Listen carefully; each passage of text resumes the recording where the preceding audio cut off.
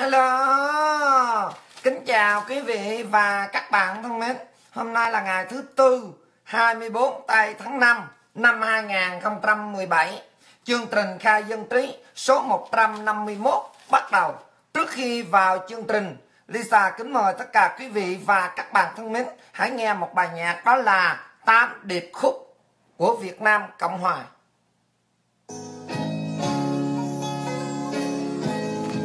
Ôi, tiếng chim kêu lạc đàn. Mẹ Việt Nam ơi, Sao mà đất nước đau thương như thế này? Thì các con sẽ hiến dân thân mình. Chào mọi người. Trời làm cho mưa bay răng răng mây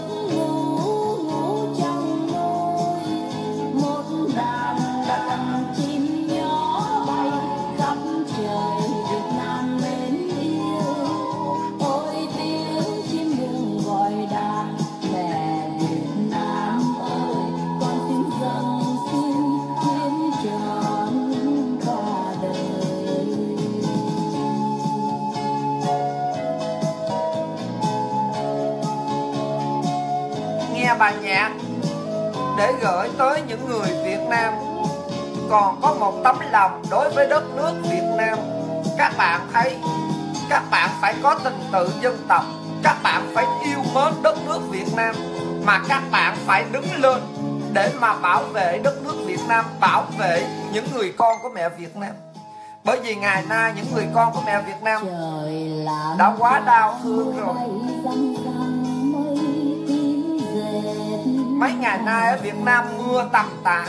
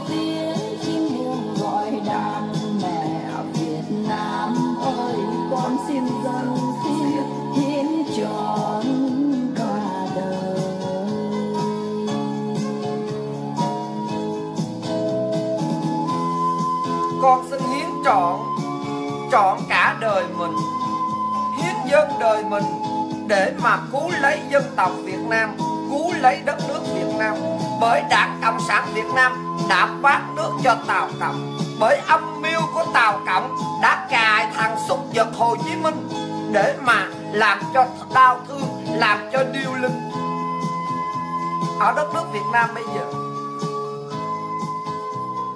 Cho nên tất cả mọi người dân Việt Nam hãy nghe chương trình khai dân trí mà tỉnh ngộ ra để đứng lên và cứu lấy đất nước. Nha. Rồi. Lisa vấn đề là cái bằng là đầu tiên. Lisa sẽ vấn đề là cho các bạn nghe à, nhiều điểm những cái bản tin mà để chúng ta biết được rằng vấn đề là kêu bằng là những gì đã xảy ra và sắp tới đây, những gì cũng sẽ xảy ra để mọi người dân Việt Nam hiểu biết được chuẩn bị có một cái hành trang để chuẩn bị ba gia đình đã không sống với chế độ cộng sản, đã tìm đường để mà đi trên biển để vượt biên, đã được hưởng quy chế tị nạn chính trị của Liên Hiệp Quốc. Đó là một điểm tin vui cho toàn dân Việt Nam chúng ta biết. Một chiếc xe thư, nó đưa báo chí đã lật ngang ở cầu Mỹ Thuận. Không biết ma nhập hay là cu hồn các đảng nào mà nhập cho thằng tài xế này. Nó đụng mẹ vô trong thành cầu Mỹ Thuận. Tại sao mà không gãy mẹ luôn cây cầu Mỹ Thuận cho Lisa? Tóm lại là tụng kinh rất là linh nghiệm, các bạn thấy rồi đó nha. Trái xưởng gỗ rộng 3.000 mét vuông ở tại Đồng Nai đã thiệt hại hàng tỷ đồng. Ngọn lửa cứ âm ỉ âm ỉ và bốc cháy. Đảng Cộng sản Việt Nam đã thừa nhận Nông Đức Mạnh và thằng Vũ Trung là con của hai bà vợ, là của thằng Hồ Chí Minh. Người dân tại Campuchia vẫn tiếp tục biểu tình chống Đảng Cộng sản ở hai gần biên giới. Một tin vui nữa là ở tại thành phố Fairfax, nơi mà có đông người Việt tị nạn Cộng sản ở tại Úc đã được vinh danh cờ vàng ba sọc đỏ đó là những tin tức mà những này là Lisa cho các bạn hay còn nói về tin của Tàu Cộng thì bây giờ Tàu Cộng đã dời các hãng xưởng và bắt đầu âm thầm đưa ma túy đi vào Việt Nam càng ngày càng nhiều, càng ngày càng mạnh hơn nữa. Đó là những cái tin tức mà Lisa chúng đây là muốn đưa cho quý vị và các bạn. Còn bây giờ thì câu hỏi được đưa ra cho Lisa như sau. Chị ơi chị, bỏ ra hàng trăm tỷ đồng để mua máy laser chữa bệnh, rồi bây giờ để trong kho đắp mền, không có xài được mà lấy tiền thuế của người dân để tiêu xài kìa chị ơi là chị. Ừ. Lôi đầu con mụ kim tuyến ra lôi đầu con ngựa mà vấn đề là kêu bằng tiếng rùi ra để mà hỏi nó như thế nào, chỉ còn nhận được là những cái máy mà hiện đại mua bên Mỹ nó khống lên là 14 tỷ đồng Việt Nam, hoặc là lên tới 20 tỷ đồng. Thật ra nó mua trị giá chỉ có khoảng chừng 10 tỷ thôi.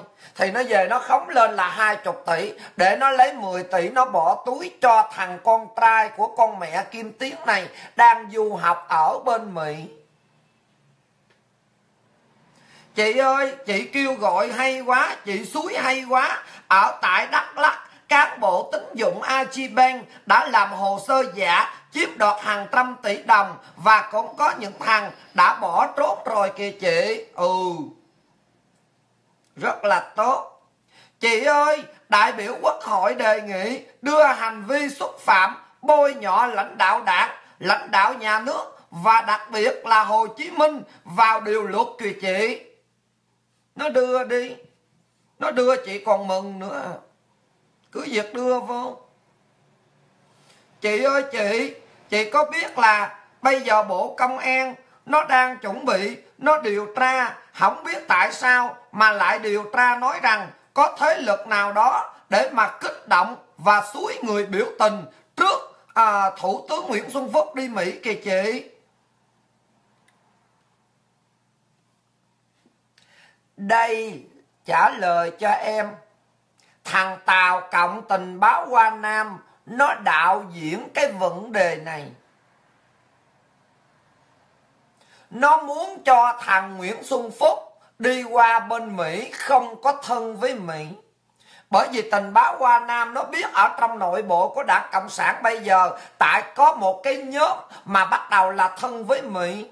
Và cái chưa chiều hướng là đi với Mỹ cho nên bây giờ nó không cản lại được. Bởi vì người dân ở tại Việt Nam, người ta thấy rõ ràng rằng đi với Mỹ thà để cho mất đảng mà còn giữ được đất nước Việt Nam. Còn hơn là đi với thằng chó đẻ tàu cộng mà mất nước Việt Nam. Cho nên thằng Trọng Lũ mặc dù rằng nó xử mặc dù nó thanh trừng, mà ở trong bộ chính trị, những người ở trong đảng bộ công an của thằng Trần Đại Quang, nó vẫn còn âm ỉ và nó nghi ngờ tại sao thằng Nguyễn Phú Trọng lại làm như vậy.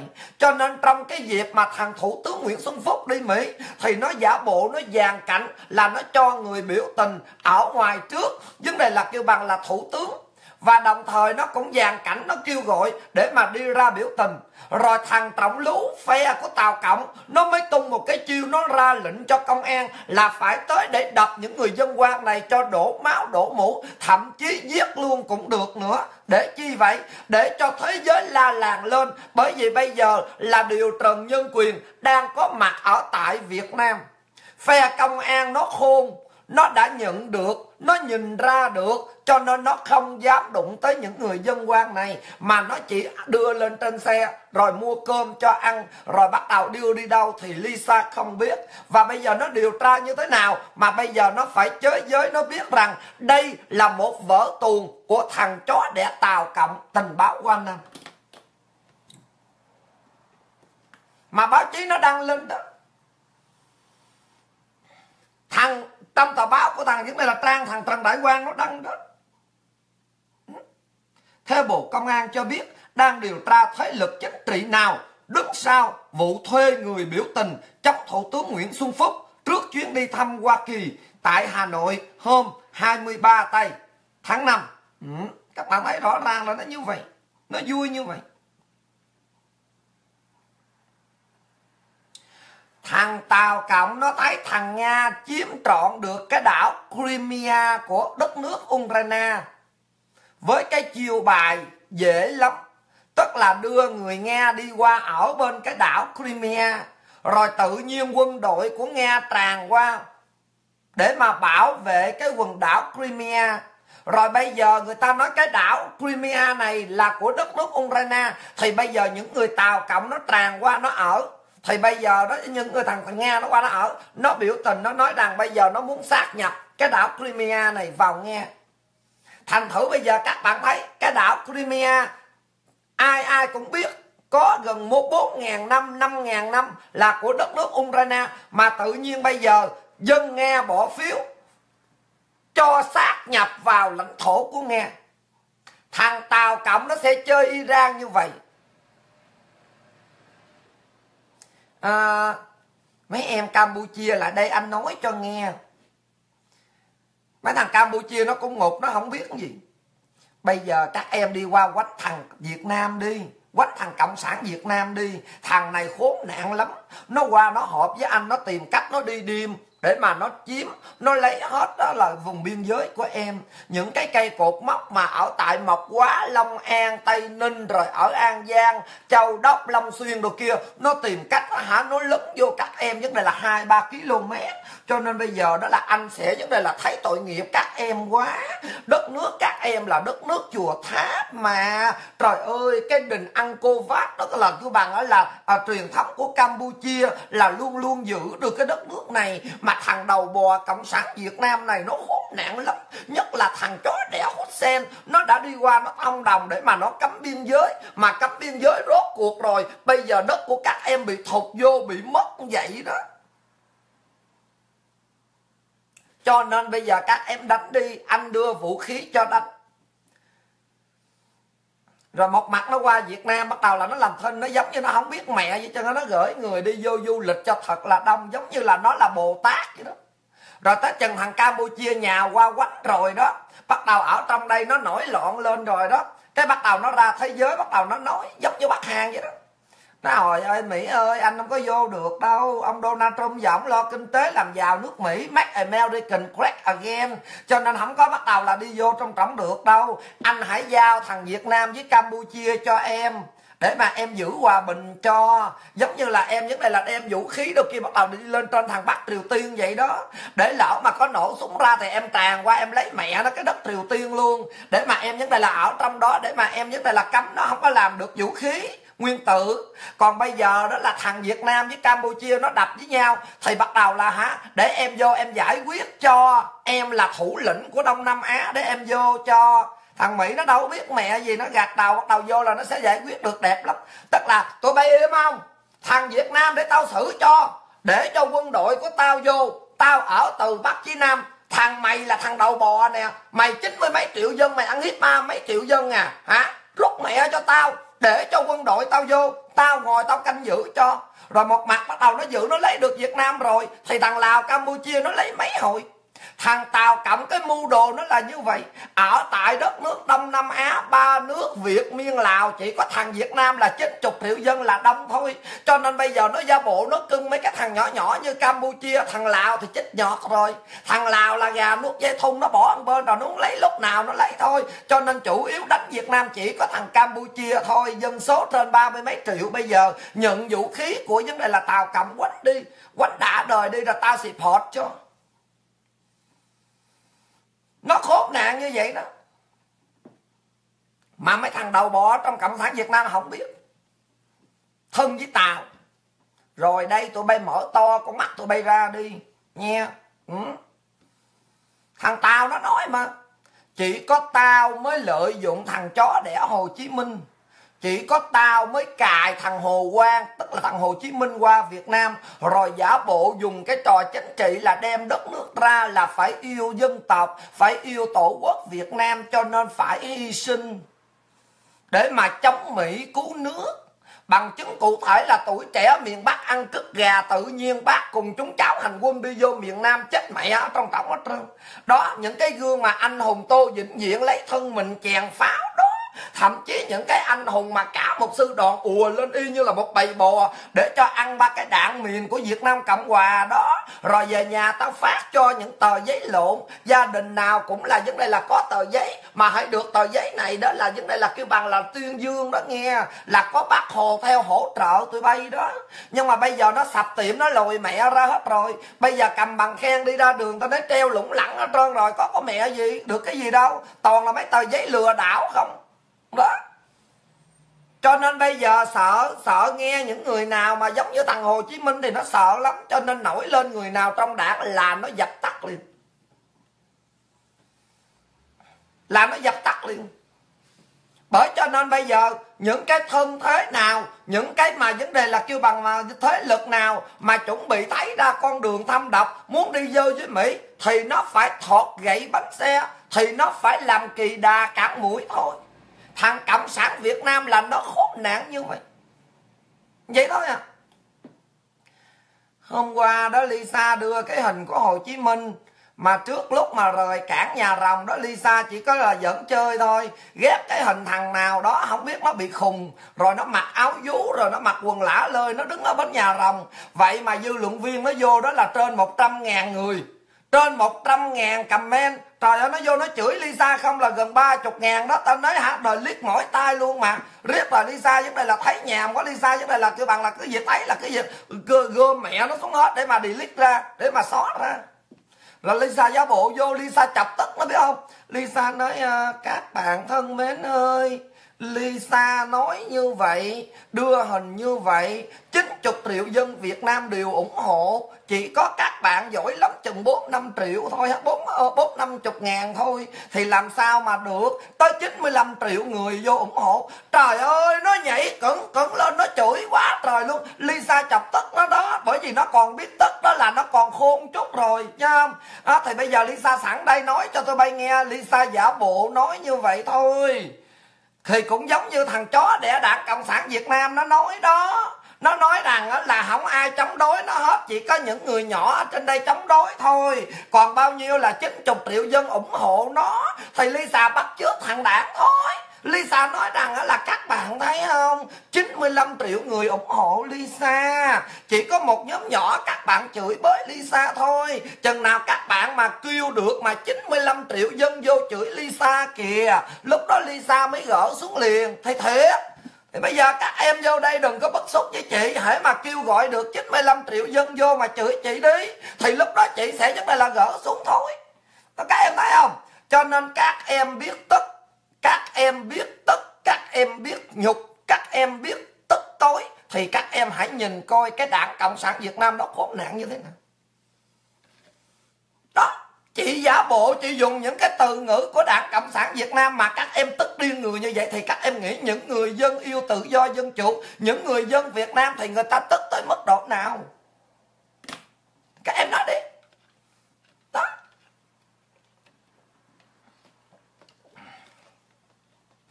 bởi cho nên các em đừng bao giờ mà các em vấn đề là vào để mà chửi bới chị. Chị đã nói với các em rồi, làm chính trị mà không chịu đựng được những lời chửi của các em thì kể như người đó không làm được chính trị. Một người mà không bị chống đối thì người đó là người bất tài. Các em suy nghĩ đi nếu những người mà các em không để mắt tới thì những người đó các em coi họ thấp kém, đúng không? Cho nên các em càng chửi bới chị chừng nào thì càng thấy được rằng là cái tầm quan trọng của chị nó đến mức độ nào đối với đảng cộng sản việt nam. Và những cái điều mà các em càng chửi bới chị, nó sẽ bẻ gãy đi những cái luận điệu của những kẻ ngu xuẩn vô dốt nát. Mà nói rằng là lisa mày nói thôi, chứ mày làm được gì? Lisa mày ngồi mày nói không mà mà đảng cộng sản Việt Nam á, vẫn còn tên anh kia. Đó đó là những cái luận điệu của các em. Biết không? Chị ơi, chị trưởng công an, siết cổ cô giáo mầm non, lãnh án tù chung thân kìa chị ơi. Ừ người dân là nó tử hình đó, nhưng mà thằng này là trưởng công an, bởi vậy mà cho nên như vậy đó. Chị ơi, tại biên giới campuchia nhiều ngày qua tình hình rất là căng thẳng. Hình ảnh này là ghi nhận ngày 23 tháng 5 nè chị. Tao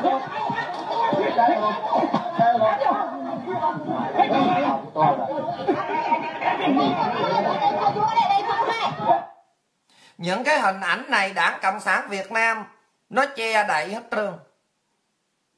Nó che hết. Nó không có cho người dân việt nam biết được. Chị lisa ơi, bọn báo thanh niên việt nam, nó chửi hoa kỳ nữa nè chị ơi. Xem mà tức quá nó nói Hoa Kỳ chưa bao giờ từ bỏ tham vọng quay trở lại Việt Nam để mà áp đặt chính sách của mình lên dân tộc này như là người Hoa Kỳ đã làm suốt ba chục năm trước đây. Bởi Việt Nam có vị trí chiến lược cực kỳ quan trọng ở khu vực châu Á Thái Bình Dương. Những tờ báo này là thế lực nào mà nó chửi như vậy? Trước mặt thì họ tỏ ra thân thiện bình thường quá quan hệ hợp tác, nhưng mà sau lưng họ ngấm ngầm nhúng tay, phá hoại sự ổn định của Việt Nam. Vậy thì cái lũ đạn đầu bò của tôi bay xè tay ra để mà kêu nó đưa tàu chi trời ơi, biết nó ngấm ngầm để mà nó lật đổ đạn đỉ tôi bay, vậy mà đi quỳ lại nó làm chi? Vậy đưa con em đi qua bên mỹ học chi? Vậy là mời cho hội nhân quyền đi về hà nội để mà điều trần. Vấn đề là nhân quyền, để đối thoại nhân quyền chi? Tao mà vấn đề là biết được mà thằng nào mà ngấm ngầm để mà lật đổ đó là tao dân xúc xích tao chửi. Tao chửi thẳng luôn, tao đéo cần nhận tàu ghen mẹ gì trơn á, dẹp mẹ nó trơn đi. Khỏi cần nhận f 16 f 15 con mẹ gì trơn á. À, nhận chi vậy? Hả? Biết vậy rồi đăng báo lên rồi. Rồi bây giờ tự nhiên vấn đề là cuối cái mặt quỳ lại người ta để nhận chi vậy? Hả? Ngục. Ờ. Cho nên cái lũ thằng trọng lũ cái lũ tình báo qua nam, cái lũ mà vtv 1 đó, với những cái tàu báo này là đồ toàn bộ là do thằng tình báo qua nam nó xỏ mũi tụi bay nè. Cho nên tụi bay đăng ra bây giờ chó mà nó còn không thèm đọc chứ đừng nói chi mà người dân việt nam đọc. Đồ những con mà hướng này là kêu bằng là những con súc vật mà bồi bút. Nha tiến tới, họ sẽ âm mưu cùng với con Lisa để lật đổ chế độ hiện hành của chúng ta, dựng nên một chế độ thân mỹ hoặc ít nhất làm sụp đổ vai trò lãnh đạo của đảng cộng sản chúng ta. Tiến tới đa nguyên, đa đảng, rồi bắt đầu họ có cơ hội nhúng tay thao túng và những thằng đầu bò công an không còn đánh đập dân nữa. Như vậy thì đâu có được. Uhm đó, nó thấy không? Đó, đó, đó, đó, đó. tưởng sao cuối cùng bài báo? Trung quốc là mối nguy hiện hữu nhưng mà chúng ta dễ đề phòng. Còn hơn là mỹ mặc dù bên ngoài thì cười giả bộ tốt lành nhưng mà phải đi bợ đỡ tung hô. Và vấn đề là tìm cách để âm mưu lật đổ đảng cộng sản của chúng ta. Vậy đó. Đừng có chửi nữa. Tôi bay chửi trên báo đài được kia thằng mỹ bên này nó không có quan trọng đâu. Tụi bay cứ thực hành cho tao. Sáu chiếc tàu chuẩn bị nó bàn giao, tụi bay không nhận cho tao. Chửi thẳng vô mặt nó tao. Làm hoành tráng lên đi. Dám không? Đó, những cái hội mà nhân quyền đối thoại ở ngoài hà nội đó, tụi bay lôi đầu ra, tụi bay chửi, tụi bay đuổi mẹ về hết cho tao. Tụi bay đuổi về hết đi mày đi, đi cút mẹ khỏi hà nội cho tao. Tình báo qua nam tao bay làm đi. Đó. Thằng nguyễn xuân phúc chuẩn bị đi qua bên mỹ rồi đấy nè. Mặc dù thằng này là thằng đầu bò thằng này là cái thằng mà vấn đề là cái bằng là để tôi bay sai khiến nó giống như là khỉ. Tôi bay kêu làm gì làm đấy. Nhưng mà bây giờ tôi bay muốn cố tình để cho nó đi qua đây nó chịu đấm ăn xôi. Các bạn thấy thằng cộng sản việt nam nó khốn nạn không? Nó đưa, nó cử cho thằng thủ tướng đi qua đây để lại ông Trump, để lại Mỹ để mà cứu nền kinh tế bây giờ đang thảm bại mà nó sợ rằng là qua đây đó, là bắt đầu thằng Phúc này nghe lời của CIA bên đây nói ngon ngọt rồi xui lòng bắt đầu là giúp đây là không về tộc mạch cho nó nghe. Bởi vậy mà nó mới suối dân quan này, đi lên ngay chăn chỗ văn phòng của chính phủ. Rồi thằng Nguyễn Xuân Phúc thì nó cũng đâu thèm nói gì. Biểu tình thì kệ mẹ nó, biểu tình đi nó đâu thèm quan trọng đâu. Nhưng mà cũng là nghe lệnh của tình báo qua Nam phải cho công an tới để mà nhận được lệnh phải đập dân quan, phải đánh dân quan cho đổ máu, cho đổ mũ ra đó, để mà cho vấn đề là kêu bằng là ở bên hải ngoại này ta nói nhảy lên kêu bằng là như nước nóng đổ. Để mà vấn đề là la làng lên đưa hình ảnh thêm nữa, vô trong vấn đề là cái ông Trump, để thằng này đi qua đây là phải ăn cây gậy của ông Trump, để cho mày phải đi theo tao, chứ mày không bao giờ mày theo Mỹ được. Nhất cử nhất động một thằng nào ở trong Việt Nam bây giờ mà chỉ cần đi qua Mỹ thì tự nhiên có những cuộc phá hoại cho các bạn thấy cho nên cái phe nào mà cấp tiến, cái phe nào mà nhìn ra sự thật là đất nước Việt Nam đang bị thao túng bởi thằng Tàu Cộng, thì tụi bay hãy nên âm thầm bí mật mà liên kết với nhau đi. Nha. Ngày xưa tụi bay âm thầm, tụi bay bí mật làm anh ba, anh tư, anh năm, anh sáu anh hai đồ kia đó, thì tụi bay cũng bí mật liên kết với nhau như vậy đi, thì mai ra tụi bay mới tồn tại được. Còn bây giờ thằng tình báo qua nam nó đang thao túng cả đất nước việt nam như vậy rồi, thì tụi bay hãy chuẩn bị tinh thần. Thằng tàu nó không ngu, nó ra lệnh nó đập tụi bay đâu. Chừng nào túng cùng lắm rồi, nó điên lên nó mới qua nó đập tôi bay. Bây giờ nó đâu có dạ gì nó đập tôi bay mẹ nó ra nó đưa mấy cái ống nước rồi kia nó giả bộ, nó chơi cái màn chính trị mà nó giết người không bằng một viên đạn nó giả bộ, nó tẩm ba cái độc ở trong mấy cái ống nước bằng gan cực độc, nó sản xuất ở bên tàu. Nó qua, nó lắp ráp cho cả thành phố hồ chó đẻ. Vấn đề là tùng, từ từ chuẩn bị đi vô tới miền tây, toàn cả nước ống, nước gan không. Rồi bắt đầu nước mà chỉ cần nó vô cái loại gan đó, bắt đầu tôi bay phân tích ra hóa học là bắt đầu sẽ uống vô là sẽ chết mẹ hết, ngủm củ tỏi hết trơn. Nó giết mà kêu bằng là cả thế giới không thể nào nhìn ra được cái mưu trò mà nó giết nó đã nghiên cứu rõ ràng rồi, chỉ cần cái nguồn nước mà bị độc thôi là tả dân tộc việt nam đều bị chết. Còn mà thằng nào mà xài điện thoại hay gì đó hả? Nó giả bộ nó chửi mỹ, nó bài mỹ để cho tôi bay xài điện thoại của tàu cộng, để cho máy tính ở việt nam, tất cả đều xài của tàu cộng. Để chi vậy? Để tất cả những dữ liệu đều đi ngược về tàu cộng hết nhưng mà tại sao cái lũ mà ở tại Việt Nam thân Mỹ tại sao mà lại đưa lên trên đài truyền hình vậy? Cho nên nó tìm cách nó áp sát thằng này bây giờ đây nè các bạn nghe đi nè đó các bạn nghe Với đi. 50 đô la Mỹ tương đương là hơn 1 triệu đồng là quý vị đã có thể sở hữu một chiếc điện thoại thông minh có màn hình độ phân giải cao, dịch vụ truyền dữ liệu nhanh chóng.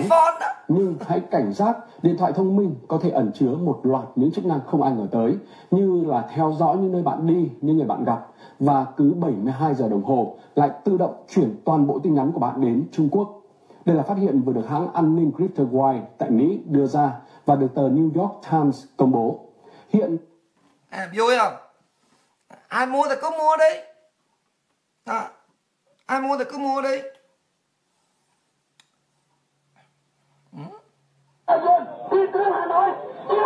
Có thể nhìn thấy ở đây người tham gia biểu tình từ nhiều giới khác nhau như sư sãi, thanh niên sinh viên, nhà hoạt động. Họ có mặt ở đây bên ngoài Đại sứ quán Việt Nam ở Nông Quanh để phản đối Việt Nam về nhiều vấn đề, trong đó có vấn đề đất đai, ảnh hưởng chính trị và tình hình người Việt nhập cư bất hợp pháp ở Campuchia. Một số người cáo buộc chính quyền Hun Sen tiếp tay cho người Việt. Chúng tôi muốn chính quyền Hun Sen phải ra đi, sau đó là những người nhập cư bất hợp pháp từ Việt Nam. Người Khmer Krom xuất xứ từ vùng Nam Bộ nay thuộc về Việt Nam. Họ đòi Việt Nam phải thừa nhận điều mà họ gọi là sự thật lịch sử, rằng đất đai nơi đó là của người Khmer Krom. Yeah. Chơi mẹ chặt lôi cạp vốn à, Nó đem cây cờ máu tháng của đảng đỉ ra. Tao nói bây giờ nó dậm lên. Trời ơi mấy ông sư sãi bên Campuchia làm lớn thiệt. Tao nói ông chơi chú cú này lớn thiệt. Mẹ nó ra nó dậm lên cái cây cờ đỏ. Bắt đầu là bây giờ tao chỉ cho không? Hả? Ở Campuchia đó Vấn này là lấy hình của thằng hồ chó đẻ để dưới đường luôn nữa Để mà ỉa lên cho tao. Ngoài cây cờ lấy hình của thằng hồ chó đẻ để xuống luôn. Để mà vấn này là chọc tức thằng à, thằng, thằng Cộng sản Việt Nam có như thế nào. Nha. Ừ. Ừ.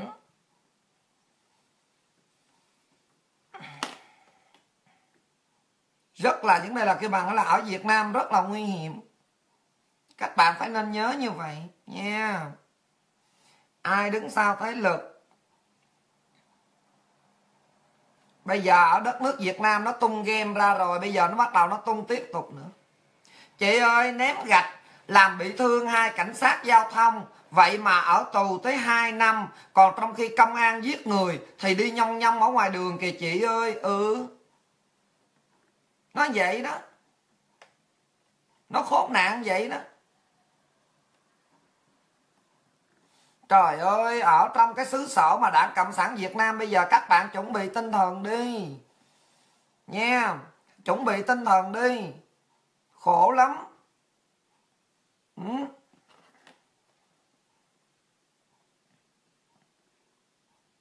Coi tin tức gì đây? Chị ơi, tin khẩn kìa chị. Cộng sản Việt Nam ra quân ngăn chặn các nhà hoạt động trước đối thoại nhân quyền kìa chị ơi đây toàn bộ là phe tình báo qua Nam. Nó cố tình nó muốn chọc gậy bánh xe, nhưng mà bây giờ, bởi vì nó muốn cứu cái nền kinh tế, bởi vì qua cái chuyện mà xếp hạng đó, thì bây giờ cái hãng mà Modi ở bên Mỹ này đó đã xếp hạng của thằng Tàu Cộng sụt đi một bước rồi. Bởi vậy mà cho nên bây giờ nó rất là run sợ. Cho nên nó cố tình nó giả bộ, nó muốn dụ thằng Cộng sản Việt Nam này để mà đi vào con đường thân với Mỹ, giả bộ chơi với Mỹ, nhưng mà cái vỏ ở bên trong là của thằng Tàu Cộng. Liệu Hoa Kỳ có biết hay không? Liệu mọi người có biết hay không? Thì chúng ta vấn đề là hãy chờ xem coi tình hình nó diễn biến như thế nào ở tại Việt Nam. Nha. Các nhà sư ở Campuchia đã đốt cây cờ máu tháng của Đảng Cộng sản Việt Nam ở tỉnh Phúc Kiến. Đây là một sự quan ngại hết sức là sâu sắc. Vậy mà bộ ngoại giao cũng như là phát ngôn viên của việt nam, ta nói im lặng hết.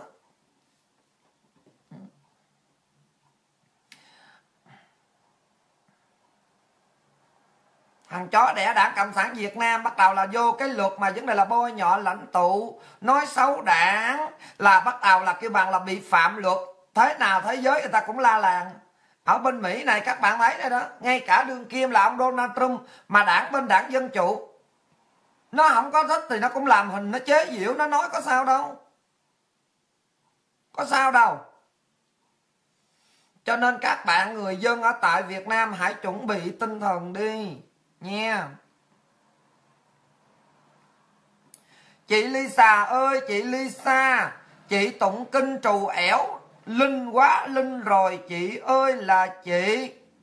Ở tại thanh hóa, chủ tịch huyện nga sơn đã tử vong sau khi bị ngã. Ngày hôm nay luôn kìa chị ơi. Ô. Oh. vậy à? Trời ơi, linh dữ vậy ta? Để nào, để đâu để chị vô chị coi bản tin coi coi để chị đọc cho mọi người nghe chứ, trời thằng chó này nó tên gì vậy ta? Tối nay gặp tao nha nghe không ờ cho mày bỏ tật mày ngục ừ. Thông tấn xã Việt Nam ngày 24 tháng 5 năm 2017 ở tại Thanh Hóa, Chủ tịch huyện Nga Sơn đã tử vong sau khi đã bị té và ngã đi. Ông Bùi Đình Cam, tên Cam cho nên phải cam phận thủ thừa. Nguyên là chủ tịch Ủy ban Nhân dân huyện Nga Sơn đã vừa tử vong sáng nay. Nguyên nhân ban đầu được xác nhận do biến chứng sau khi bị ngã, đập đầu xuống dưới đất, chấn thương sọ não, cách đó hai ngày. Sáng nay, ngày 25 tháng 5, ông Trần Ngọc Quyết, Phó Chủ tịch Ủy ban Nhân dân huyện Nga Sơn xác nhận ông Bùi Đình Cam, Chủ tịch Ủy ban Nhân dân huyện Nga Sơn đã vừa mất cách đây vài giờ đồng hồ. Theo ông Quyết, cách đây hai ngày, ông Bùi Đình Cam do sơ ý đã ngã trong nhà tắm, đầu va đập vào bồn tắm và gây chấn thương sọ não nhưng sau khi khám xét tử thi thì không phải ông ta sơ ý, mà ông ta đi lên định hướng xã hội chủ nghĩa, ở trên quán bia ôm, và đã ôm những cô gái trên đó, đang điều tra không biết cô gái bia ôm nào mà đã phục rượu để cho ông chủ tịch ủy ban nhân dân huyện nga sơn này uống để rồi ông về, ông không thấy gì cả. Cho nên ông đi vào nhà tắm, đã bị té và đập đầu vào xi măng mà chết bất đắc kỳ tử. Gia đình của ông cam đã đưa ông đi bởi máu me. Nó đang lê lết, đi khâu vết thương ngay sau đó bảy mũi. Nhưng có lẽ do chủ quan, sáng nay vết thương tái phát ông Cam được chuyển vào bệnh viện đa khoa huyện Nga Sơn để cấp cứu, rồi chuyển lên bệnh viện đa khoa tỉnh Thanh Hóa nhưng khi lên tới đây, ông co giật, nghiến răng, bờ trợn trầm trợn trắng và ông đã trút hơi thở cuối cùng tử vong tại bệnh viện tỉnh. Hiện gia đình ông đang đem thi thể của ông về địa phương và đang đập đầu và khóc lóc, nói rằng, con Lisa Phạm, tại sao mày trù ẻo linh vậy? Mày có cho cô hồn các đảng thiên ma thần nào mà để kéo chồng tao đi hay không? Tại sao mà chồng tao tên là Bùi Đình Cam, sinh ngày 5 tháng 5 năm 1959 tuổi còn trẻ phơi phới, mới có 50 tuổi đời thì tại sao mà lại té đập đầu chết như vậy quê quán ở tại xã nga giáp huyện nga sơn tỉnh thanh hóa được biết rằng thằng chó đẻ bùi đình cam này có trình độ cử nhân kinh tế lụi cử nhân chính trị lụi hiện đương giữ chức vụ, bí thư huyện ủy, chủ tịch ủy ban nhân dân huyện nga sơn. Thằng này đã từng giữ chức vụ, chủ tịch ủy ban nhân dân huyện nga sơn đã hai nhiệm kỳ rồi. Chắc là làm chủ tịch lấy đất của người ta quá nè. Cho nên cô hồn các đảng gân ân quát giang hồ nó theo để mà nó xô mày thôi, bỏ tật mám gái tao nói ở việt nam là vậy đó. Đi làm mà ra rồi là định hướng thẳng lên trên khách sạn không à? Bởi vì định hướng mà. À, định hướng lên xã hội chủ nghĩa bắt đầu là cái việc thằng nào mà sách cặp tác ra mà thấy con hoa hậu hay con người mẫu nào mà đẹp cái là tao định hướng nha. Để anh với em hai người định hướng là xã hội chủ nghĩa nha. Nhỏ nên nói định hướng ở đâu vậy chủ tịch? À, định hướng ở khách sạn vấn đề là, là, là plaza đó à, em lên em nằm phòng số mấy gọi điện thoại nhắn tin đi. Rồi anh đi lên trên tỏ để mà chúng ta định hướng. Ừ. lên trên tỏ này anh định thêm cái nữa nha không? À, chúng ta định trước bây giờ bắt đầu định hướng xã hội chủ nghĩa là lên trển bắt đầu là nhậu nhẹt ôm nhau định định đã đợi rồi rồi về nhà bắt đầu là sướng quá mà phê quá về nhà. Bị đập đầu chết mẹ rồi. À, trời ơi đó.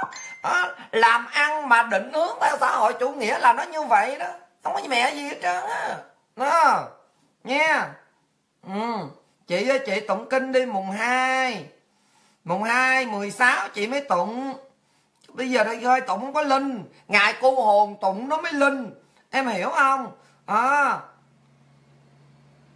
Chị ơi nhiều cô gái trẻ ở đồng tháp đã được giải thoát sau khi bị lừa sang thằng tàu cộng bán dâm cứ 10 lượt một ngày kìa chị. đây là cái chiêu thôi, giải thoát con mẹ gì.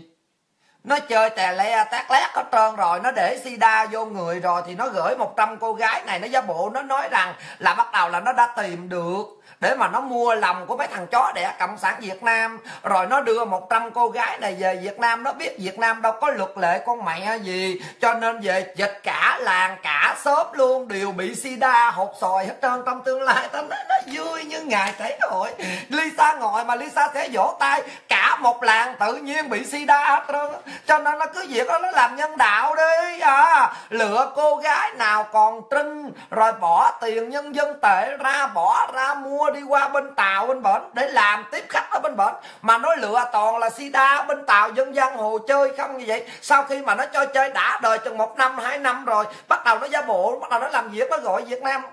Em à, việt nam ơi trọng lúa ơi.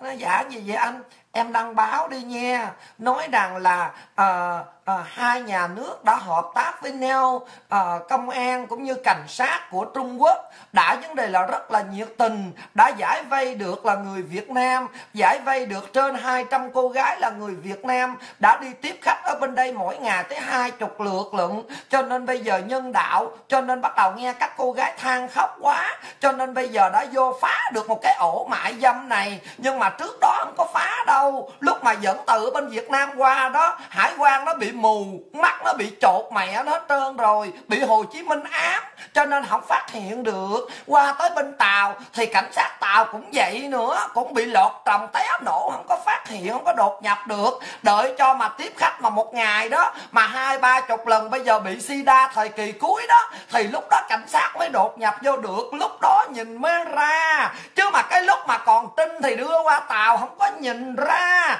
Phải qua bển mà làm đỉ mà tao nói bị sida rồi lúc đó mới nhìn ra mới đột nhập vô. Bây giờ bị sida rồi sợ để bên tàu ảnh hưởng làm sao? Cho nên thôi bây giờ tụi anh gửi ngược về cho tụi em nha. Giải dây mấy cô gái vấn đề là ở đồng tháp về cho tụi em đó. Tụi em cứ việc tụi em nhận vô đi nghe không? À, nhận cho những cô gái này trở về với gia đình ha?